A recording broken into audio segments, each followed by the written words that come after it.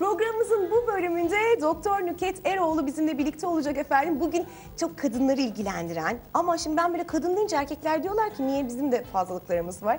Erkekleri de tabii ki ilgilendiren bir konuyla karşınızdayız. Mesela bu dönemde çok konuşuluyor lazerli polis. Lazerli polis Böyle evet. son dönemde çok güzel bir yöntem diye konuşuluyor. Öncelikle hoş geldiniz hocam nasılsınız? Teşekkür ederim Nasibe Hanımcığım. Siz nasılsınız? Vallahi iyiyim hocam. Böyle konular olunca daha da iyi oluyorum açıkçası. Beni çok enteresan eden konular bunlar. Şimdi öncelikle lazerli polisin ne olduğunu size sorayım. Bu son dönem çünkü mucizevi yöntem e, gerçekten de çok daha üstünlükleri var. Liposuction, li, e, lipoliz gibi gibi konuşmalar oldu. Bize anlatır mısınız? Aslında lazerli polizi biz 10 senedir uyguluyoruz. Yani çok da yeni bir yöntem kabul edemiyorum ben. Çünkü 10 yılı aştı artık. Ee, bu yıl 11. yılımız. Ee, lazerli polis lokal anesteziyle, genel anestezi kullanmadan, hastayı hastanede yatırmadan yağların lazerle eritilerek kalıcı olarak alınması yöntemi. Ve bu dönemde en çok rağbet gören ameliyat haliyle. Kesin şimdi e, ben birkaç tane yayında da sizi takip ettim. Hatta e, valla geçen sene miydi bilmiyorum. Mesela Fatih Yüreği siz bunu ilk söylediniz. Ne zaman geleyim dedi. Şimdi öyle bir durum var. Fatih Yüreği biliyorsunuz sanatçı çok da şeker, çok da tatlıdır. İnsan olarak da çok iyidir. E, ve estetiğe e, en az benim kadar, Seda Sayan kadar böyle e, seven ve yaptıran e, gerçekten de ender bir sanatçılardan. Onun için Hani o da aynı şeyi söyledi. Şimdi herkes merak ediyor. Bir kere hangi bölgeler uygulanır? Bence hepimiz tamam biz buna varız deriz ama hangi bölgeler?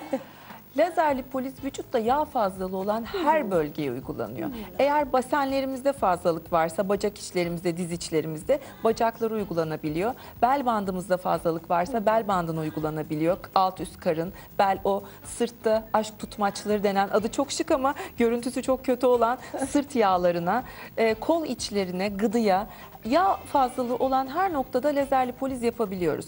Lazerli poliz liposuction gibi bir yöntem değil çünkü darbeli çalışılmıyor. Liposuction'da e, iri kanüllerle çalışılır ve doku ha- hasarlanır, doku ezilir. E, bağ dokusu, vücuttaki damarlar zedelenebilir. Emboli denilen riskinden halk arasında çok korkulur ve tabii ki hastanede yatmayı gerektirir. Biraz daha acılı, ağrılı, sızılı bir yöntemdir. Lazerli polizin bununla hiç bilgisi yok. Ben operasyon kabul etmiyorum çünkü incecik iğnelerle giriyoruz. 1.2 milim. Kullandığımız kanüller evet evet enjektör gibi incecik kanüller kullanıyoruz. Ee, darbe yok. Hiçbir şekilde dokuya zarar vermiyoruz. Sadece yağ dokusu içerisinde çalışıyoruz. O dokuyu eritiyoruz, dışarı alıyoruz, hastalara gösteriyoruz. Sadece lokalle yapıyoruz. Genel anestezi vermeden ve hastanede yatırmadan. Ee, ne kadar litre yağını almışsak bu 3 litre oluyor, 5 litre oluyor, 6 litre hastanın e, o bölgesindeki fazlalığa bağlı olarak hastaya kanül kapları içerisinde gösteriyoruz. Bir saat sonra hastaneden çıkıp işine gidebilir, her şeyi yapabilir, gündelik hayatını sürdürebilir. Şimdi e, ilk bu yöntem siz 10 sene diyorsunuz. Ben sanki bir 3-5 senedir duyuyorum gibi geliyor. Demek ki bizim e, işte e, basının çok fazla rağbet gör- göstermesiyle aslında çok da duyuldu. Şimdi hep şöyle manşetler var. Özellikle Amerika'da dahil olmak üzere. Liposuction'dan çok çok daha üstün. Liposuction'ın yaptığını daha da güzel yapan. Hep böyle böyle manşetler var. Şimdi madem işin ehli e, karşımda bunu sormak isterim e, Nüket Hocam. Gerçekten de liposuction'ın üstünlüğü bu kadar fazla mı bir yöntemin? Liposuction'dan çok üstün bir yöntem. Ee, ben bu yöntemin çok e, ciddi savunucularındanım. Çünkü ilk yaptıran hasta Türkiye'de benim. Çok inandım ve ben kendime yaptırmadan hiçbir yöntemi anlatmam.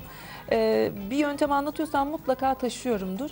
Liposuction'da e, eşim plastik cerrah biliyorsunuz. Senelerce dedi doğumlarımdan Harika sonra hocam. bu e, bel bandını alalım, bu göbeğini alalım. Ama dokundurtmadım. Ee, neden? Liposuction yaptırıp yağınızdan kurtulabilirsiniz ama altındaki kalan darbelerle alındığı için pürüzlü bir bölge oluyor. Ve iyileşirken görüntü girintili çıkıntılı, ondülans dediğimiz dalgalanmalar oluyor, e, çukurlar oluyor, selülit çukurları gibi. Bir kere şık değil. Hani yağ gidiyor ama deri oraya şık bir şekilde yapışmıyor çünkü pürüzlü alınıyor. İkincisi çok ağrılı ve gerçekten riskli bir yöntem. E, hem estetik değil hem bir takım riskler içeriyor. E, o açıdan e, ben liposuction'a hiç taraftar olmadım. Yağ gittiği zaman da oradaki deride hafif bir e, oynama, balonlaşma oluyor. Çünkü o derinin içi boşaldığı için böyle biraz sönmüş top gibi falan görünüyor. Bu yüzden özellikle bacak içlerinde, kol içlerinde falan şık durmuyor. Ama lazerli polis aynı zamanda cildi germe etkisine sahip. Bu yüzden biz oradaki yağı alırken cildin de gerildiğini, daha saydam, daha parlak bir hale geldiğini görüyoruz. Yağlar gidiyor, cilt e, eğer gıda almışsak çene kontürüne yapışıp oturabiliyor. Bacak içleri dümdüz ve Aa, parlak dakika, gıda durabiliyor. alınabiliyor mu bunlar? Tabii tabii gıda alınıyor. Yani yüz germe ameliyatı gibi. Hem gıda alınıyor hem buradaki cilt geriliyor. Aynı anda yağı alıp cildi germe etkisi bıraktığı için liposakşine çok üstün. Çok iyi. O zaman çok iyi bu. Bacak için de mi aynı şey geçerli? Bacak içi ve kol içlerinde özellikle liposakşın hem iri kanüllerinden olmasından dolayı hem iz bıraktığı için hem de dediğim riskleri taşıdığı için iyi durmuyor.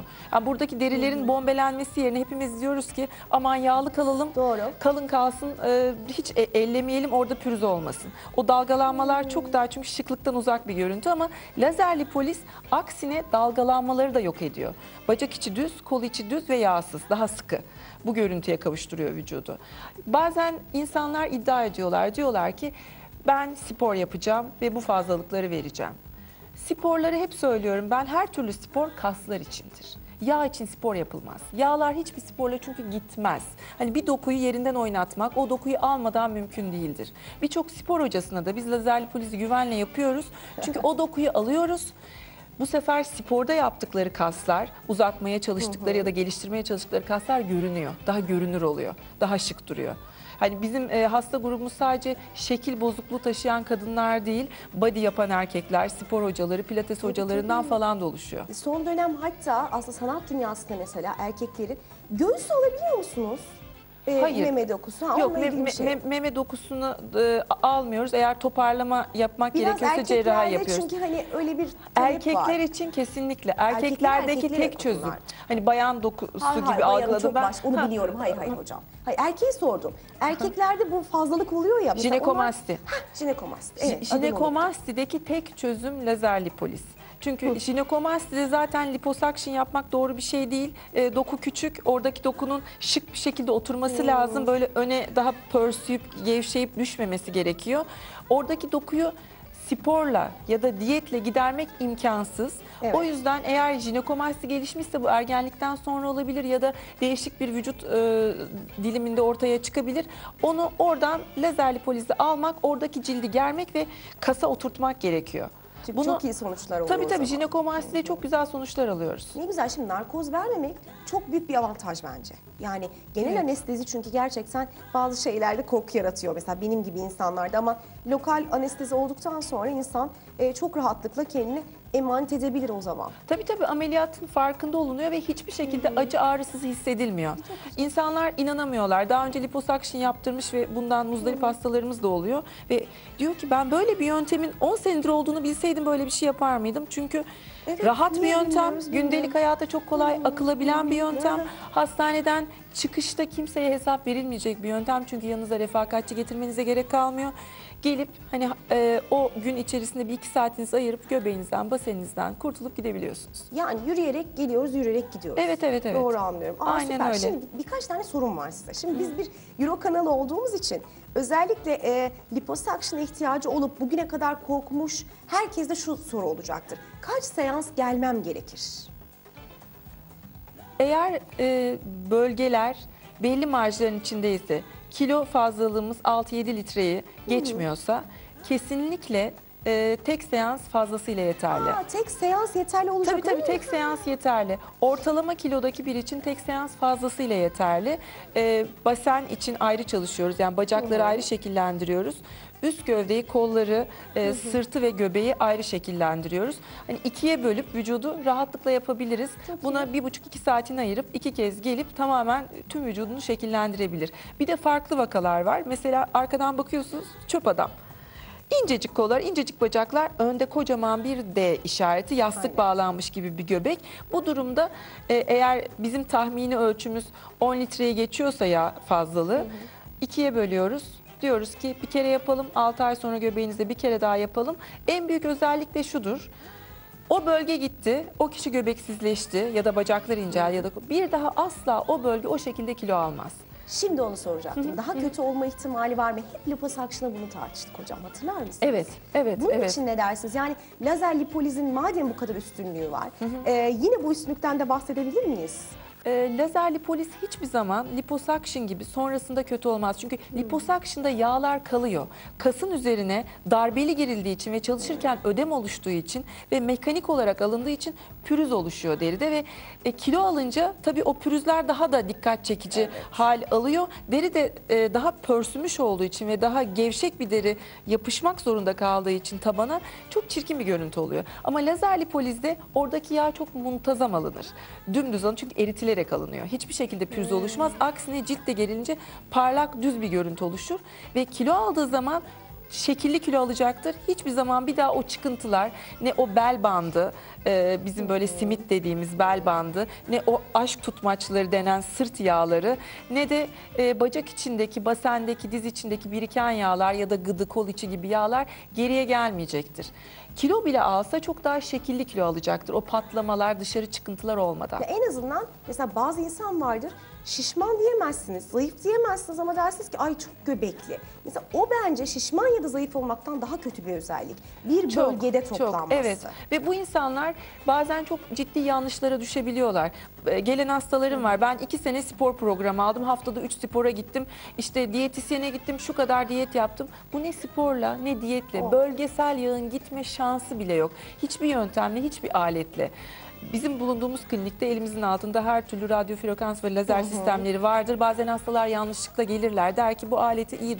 Evet alet iyidir ama selülit için iyidir, sıklaştırma için iyidir. Hiçbir alet bölgesel fazlalığı yok etmez. Hiçbir spor, hiçbir diyet bölgesel fazlalığa çözüm değildir. O yağ dokusunun oradan alınması gerekir. Bir daha da gelmeyecek oraya üstelik. Kesinlikle. Üstelik bel bandı artık hepimizin genç yaşlarda bile çok korkması gereken bir durum. Çünkü kadınlarda 102, erkeklerde 108 santimin üzerindeyse bel kalınlığı bir kere metabolik sendrom, kalp krizi, diyabet riski birdenbire artıyor.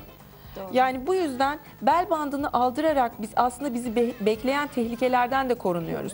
Endüstriyel toplumda gitgide kilo almasak bile vücut oranlarımız değişiyor ve göbekleniyoruz. Belimiz kalınlaşıyor ve artık e, pankreasın salgıladığı insülin vücuda yetemiyor. Yavaş yavaş kan şekeriniz bozulmaya başlıyor.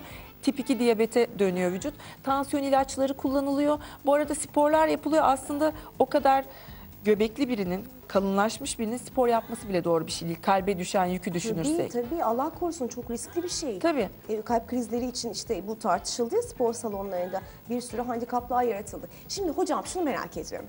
Oldu da liposuction yaptırdı kişiler ve bu dediğimiz bütün ondülasyondan ve diğer e, negatif şeylerden maalesef ki paylarını aldılar. Şimdi bir kere daha çünkü böyle bir şey var liposuction yaptırdınız e sonuç yok ortada.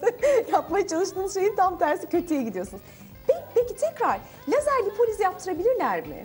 Tabii ki böyle hastalarımız var. Lazer lipoliz yapıyoruz. Liposuction'dan sonra e, kötü duruma düşmüş ya da kilo almış ama iyice şekilsizleşmiş hastalarımız var. E, bunlara liposuction yapıyoruz ama bunlardaki başarı oranı sıfır hastaya göre daha düşük oluyor. Çünkü liposuction dokuyu sertleştiriyor. Evet, evet. Sertleştiriyor. E, alacağımız yağ miktarı azalıyor. E, o yüzden e, liposuction yapmış hastaları düzeltmek anlamında lazer lipoliz kullandığımız bir yöntem. Evet yani onu da söyleyelim çünkü hani kötü yapılan şeyleri de düzeltilebileceğini bir kez daha söyleyeyim. Benim bir arkadaşım yaptırdı çünkü. Dedi ki yani ben niye ilk bunu yaptırmadım? Ee, çok hayıflandı. Hatta hani yavaş yavaş hepimize böyle bir e, senin de ihtiyacın vardı. Birbirimize söylüyoruz. Kalıcı mıdır sonuç? Sonuç kesinlikle kalıcı. Ben 10 yıl önce dediğim gibi Türkiye'deki ilk hastayım. Aleti aldığımızda çok yaptırdım. Tabii alet şu an çok çok gelişti. Gücü yükseldi. Çok daha hızlı çalışabiliyoruz. Çok daha kolay çalışabiliyoruz. Ve e, Türkiye'deki en eski ekip olduğumuz için hani alet yenilenirken bile bize soruyorlar. Handle'ı nereye koyalım? Nasıl revize edelim? E, bel göbek çevrem halen kilo almadı. O zaman daha zayıftım. Yani bir 5 kilo falan şu an daha fazlayım. Ama bu do- e, aldığım kilo dağılıyor. En büyük artı bu. Hiç göbek olmadı mesela. Hiç değil mi? göbek olmadı. Evet. Belim tekrar kalınlaşmadı. O simit hiçbir zaman gelmedi. Yenilerde iki ay önce bacaklarıma ihtiyaç duyup yaptırdım. Bacak içleri, diz içlerine falan. Biliyorum ki artık vücudum hep böyle kalacak. Kilo alırsam bu şekilde alacağım, daralırsam bu şekilde daralacağım. Ya yani bu plastik çok cerrah olması da çok güzel. Kendin doktor olması çok güzel. Valla ben sizden beklerim yani bacağınıza kendinizin yapmasını. Hani bana deseler ki Nüket Hoca yaptı, yapmıştır derim. Çünkü bu konuda gerçekten çok tecrübelisiniz. Söyleyeyim yani birçok benim de bildiğim hastalarınız var. Ee, hani gerçekten bu yöntemi yaptırır mısın? Yaptırırım. Valla en en son Fatih Yürek'e bağlayacağım. ben evet Fatih Yürek gibi ben size ne zaman geleyim dedi ya canlı yayında çok güldü. Ay, çok istedi, çok istedi Cumartesi sevgili geleyim mi ben dedi. Kortizon tedavisi görüyordu o sırada. Onu e, alamadık. Çok da arzu etti. Ama belki o tedavi bittikten sonra doktor izin verirse Evet evet seve seve. bir şeyi var çünkü özel. Onun için de yazık o şey e, kötü de görüntüsüne de çok takın. Çünkü çok gerçekten düzgün ve çok iyi bir fiziği var. E, tabii o öyle bir Ama çok ünlü isme yaptık. Çok ünlü isme Biliyorum, yaptık ve biz e, kliniğe döndüğümüzde onları canlı yayında izledik. Çünkü hafta içi programlar yapılıyor, gece Doğru. programlar yapılıyor ve e, insanların vakti yok. En bulamadığımız şey aslında vakit. Peki, en mesela kıymetli şey. Şimdi kortizondan bahsettiniz. Ama mesela diyabeti olanlar, tansiyonu olanlar onlar da yararlanabilir mi bu yöntemden? Tabii tabii. Bu sadece estetik amaçla yaptığımız bir yöntem değil. Diyabet ve tansiyon alan hastalara da çok sık uyguluyoruz ve özellikle uyguluyoruz. Mesela geliyor diyor ki benim hiçbir estetik kaygım yok. Yaşım 70'i geçti ama eğilip ayakkabımı bağlayamıyorum. Aynaya baktığımda göbeğimden iç çamaşırımın rengini göremiyorum. Böyle e, artık o taşıdığı yükten solunumu bozulmuş, kalp atımı bozulmuş, e, diyabeti kötüye giden bir hasta grubumuz var ve bunlarda insülin dozunun düştüğünü, nefes aldıklarını, sağlıklarının çok daha iyi yol aldığını, hatta bir kısmının tansiyon ilaçlarını azalttığını ya da bıraktığını görüyoruz. Çok önemli yani yağlanma hiç iyi bir şey değil vücutta. Onu hep doktorlar Birinci derecede de- kötü olan şey artık kolesterol e, kalp e, krizi kriterler arasından çıkarıldı. Hiç önemli değil. Kolesterolünüz kaç, yüksek mi düşük mü bunun genetik olduğu ispatlanmış durumda. Fakat bel göbek çevresi ilk sorulan şey. Doğru. Lütfen deniyor buradaki yağınızı azaltın ki akciğerleriniz, pankreasınız, e, iç organlarınız düzgün çalışsın. Evet yağlanma hiç istenilen bir şey. Çok teşekkür ediyorum. Ben çok teşekkür Bizimle ederim. birlikte olduğunuz için Doktor Nüket Eroğlu bize.